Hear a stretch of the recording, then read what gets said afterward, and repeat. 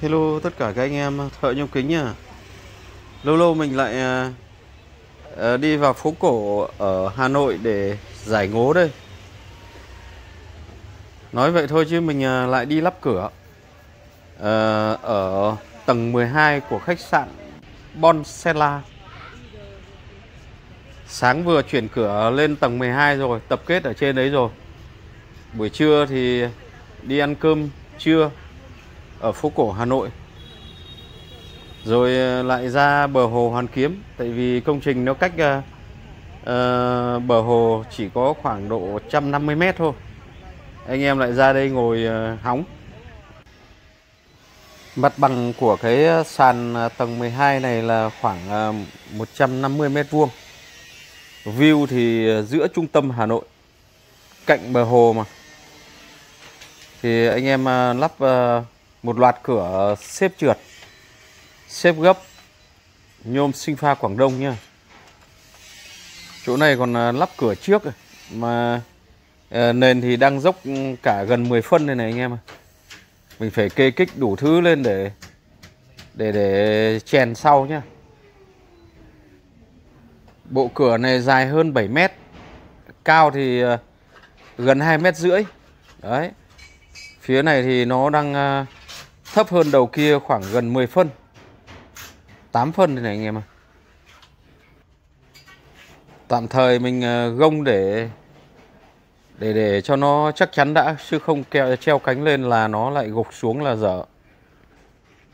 Thì ờ, sau rút kinh nghiệm là nếu mà lắp cái loại cửa to cửa nặng như thế này thì tốt nhất là mình ờ, bảo với gia chủ gia cường trước cho cái ô cửa nó vuông vắn và cho nó chắc khỏe chứ lắp như anh em mình ờ, lắp trước như thế này thì rất là vất vả nhé mất nhiều thời gian lắm. Chỗ này là view bốn xung quanh đều đều có hết nhá.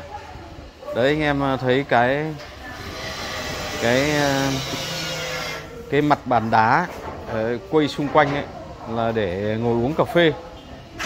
Thế còn trong này mà lúc nào bị mưa thì đóng cửa hoặc là nóng quá thì điều hòa, bật lên chủ yếu người ta mở thêm cái này là người ta làm thêm cái phần này là để người ta kinh doanh bán cà phê.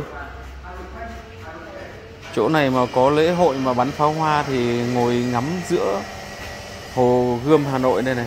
Đấy. Đây là hồ gươm nhé anh em ơi. Đấy, ngồi uống cà phê đây này. Mặt bàn đá là là quây để uống cà phê đấy. Ở đây một cái cửa sổ xếp gấp. Ờ, uh, 7 cánh. À cửa bên này là 9 cánh nhá. Cửa bên kia là 7 cánh. Và một cái cửa sổ nữa 5 cánh. Anh em và mọi người nhìn thấy cái kính uh, uh, xanh đậm này là đưa lên nhìn nó mát hẳn lên nhá. Cho kính lên cái mát ngay. Dịu ngay. Uh, rất may là cái cánh cửa này nó vẫn vừa cầu thang anh em ơi chứ không thì không vừa thì gay. Khiêng thang bộ thì chết. Chỗ này mà mà đêm ờ, giao thừa uh, chuyển giao năm cũ với năm mới mà bắn pháo hoa thì chắc là là khách đông lắm này. Lên trên này uh, uh, uống cà phê rồi ngắm bắn pháo hoa. Đấy người ta làm quay xung quanh toàn bằng uh, sắt hộp với sắt y rất là kiên cố nha. Đấy, cửa của mình thì cũng ờ, rất là chắc chắn. Kính ờ, 8 ly 38 đấy anh em mình ờ, xem như mình lắp cửa đấy. À, cửa rất là phẳng.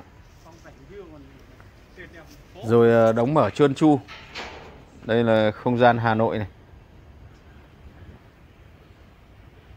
Hồ Hoàn Kiếm đây. Ờ, đi làm ở đây ờ, mấy ngày nhưng mà chi phí ờ, rất là cao anh em ạ. Gửi xe 20k ăn cơm trưa là mỗi suất là 65k chưa kể uống nước. Tại vì ở đây đất đai nó đắt đỏ mà. Đã thế là toàn khách du lịch nước ngoài. Thành ra là uh, họ phục vụ những món ăn rất là cao cấp rồi là ở đây nó tương đối là đắt đỏ đây là cửa cửa sổ xếp gấp 5 cánh. Còn bộ này là có 7 cánh nhá. Thêm một cái cánh giả để cho nó làm giả ra đấy để cho nó khỏi vướng cái ờ, lối đi cầu thang. Đấy. Thì ờ, người ta làm ờ, cái cửa này là mục đích để lấy view, lấy gió thoáng nhất có thể. Đấy.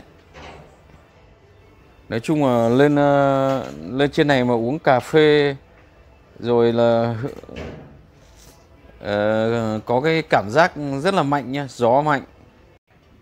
Người nào thích cảm giác mạnh thì lên trên này. Đấy anh em nhìn này cửa bộ này chín cánh. Dài dằng dẵng. Quá đẹp.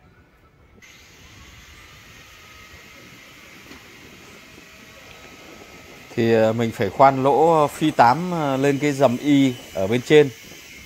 À, ốc vít thì bằng inox nhá thì mới đủ đủ chắc chắn đủ khỏe. Thì cái loại cửa này thì anh em làm nên làm tối đa là chỉ khoảng độ 80 trở lại thôi nhé không nên làm làm to quá. To quá là cửa nặng nó chịu tải không nổi đâu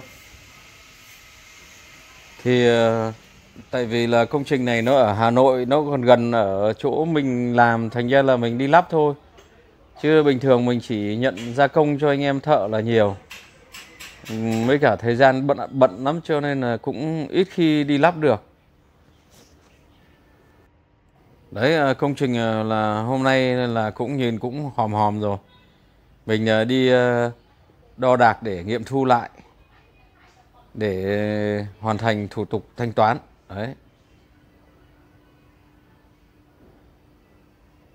Anh em nhìn thấy ờ, quán cà phê mở trên này có ngồi uống cà phê có ổn không? Cái ờ, view ở địa điểm này thì là quá là xuất sắc rồi. Từ khách sạn này ra đến mép bờ hồ là chỉ khoảng 150 mét. Đấy, rất là gần. Vậy là mình lại à, hoàn thành một công trình ở giữa thủ đô Hà Nội. Anh em à, xem đến đây cho xin một like và một đăng ký kênh nhé. Hẹn gặp lại ở video tiếp theo. Xin chào tạm biệt.